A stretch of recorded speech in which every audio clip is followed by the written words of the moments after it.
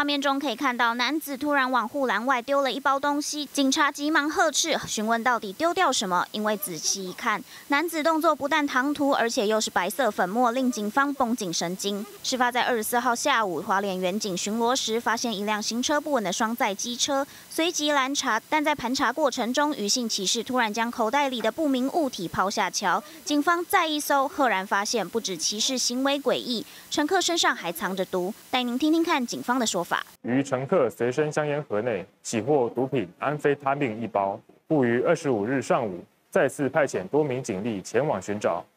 经扩大搜寻，仍未发现该不明物体，遂将该名驾驶尿液检验结果及其他相关事证。函送侦办。到底嫌犯丢的那一包是什么样的东西？要如此急着湮灭证据？由于河床太大，警方隔天白日仍然找不到丢值的物品，先将余姓骑士依据尿检结果和其他相关证据函送侦办，而李姓乘客则依毒品危害防治条例移送地检署。